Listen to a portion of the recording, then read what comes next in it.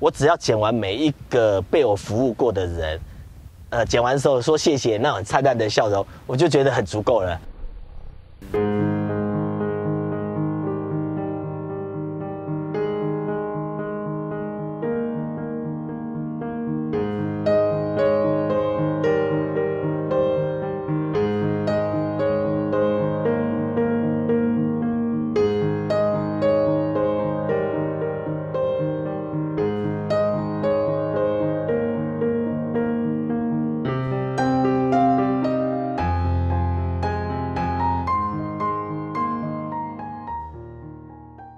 本身在十几年前就是在做法廊，在做法廊的时候，就会有常常一些弱势团体啊，一些需要帮忙的人都会来在法廊来找我们说。看能不能去帮他们做义剪的活动。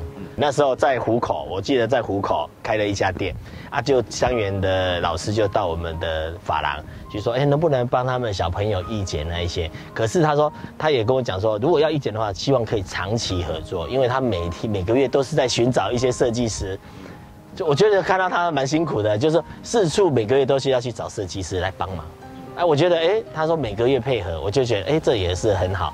所以我就答应了这个老师说好，我每个月一定会跑挪时间来帮他们义剪这样子啊。我这一检车是在我有想要做这这个这个行这个义剪这个活动的时候，就已经在想我如何做一个行动的一台车子，可以帮助一些，就是说让设计师或者给我们服务的人都一个很好的环境啊，就开始在设计，在在十几年就在设计，在这十几年来哈，都一直在寻找哈。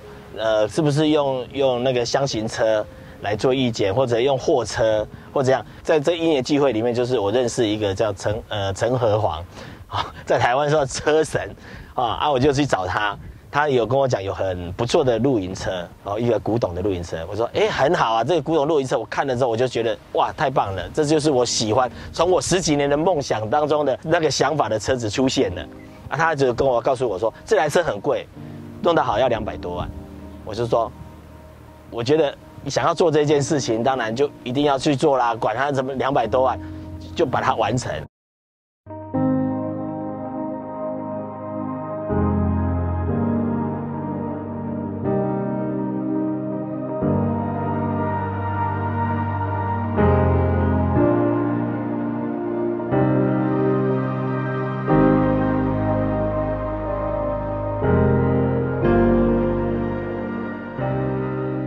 检车是，其实看到这台车子已经五年前的时候有这个呃决定，到诞生的时候大概差不多四年半才完成。开始的时候是从去年的七月开始，这一台车开始诞生，开始有开始到偏乡去做这一项服务。福斯这边呢，它是有赞助我们的一台阿玛洛克的那商旅车哈。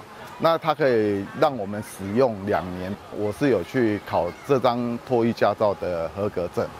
你是本来就有还是特？没有，本来没有，是为了这台易检车的话才去做这个考试的部分，特别去考的。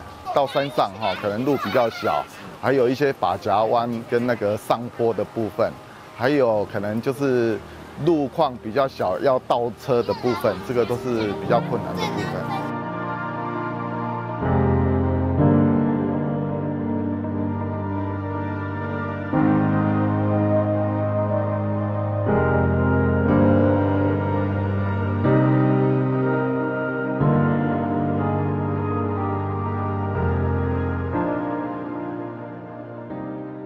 内部的话，哈，因为我们这台车它的在国外使用已经大概六十年，哈，在国外淘汰啊，回来我们这一边，那我们就是以用它的年纪年份的部分来装潢这台车的，配合它的一个历史。好，我们看前面，看前面对。还有问你啊，你是第一次参加这样的活动吗？我参加过蛮多次。我们公司也有一阵子啊，做这个义检活动。其实我们还没有这一台义检车之前，我们每个月都会去香园，在虎口的那个类似，它是类似教养院，我们都会去。对，就是帮他们服务啊，因为他们外出不方便。我自己还有每个月去关心，所以你觉得做这样事情真的有很开心，对，而且也可以帮他们服务。你看他们出去也不方便，这么远。然后他们，我刚刚看到一个弟弟，他可以自己剪一个洞。对对对。他把上面自己剪一个洞，我就问他弟弟为什么这边会有一个洞？因为我觉得这样很帅，没有人帮我剪。我刚刚跟他剪完，他说这就是我要的。眼睛。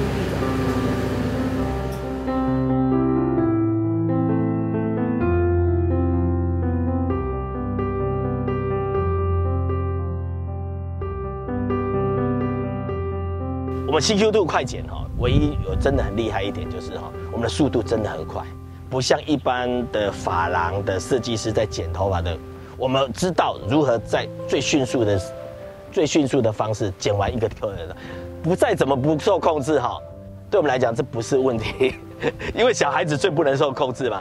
但我们一到我们快速剪法，你会发现小孩子没有他，他在不受控制的过程当中，几分钟之内，算几秒钟就可以把它剪完了。他再怎么不够控制都不是问题。以前一剪简直就是好像除草一样，除草一样，把头发啪啦啪啦就剪完了啊，整个真的很狼狈的就走啊，连剪头发的人一样，全身都是脏，就是头发屑，环境都不太好。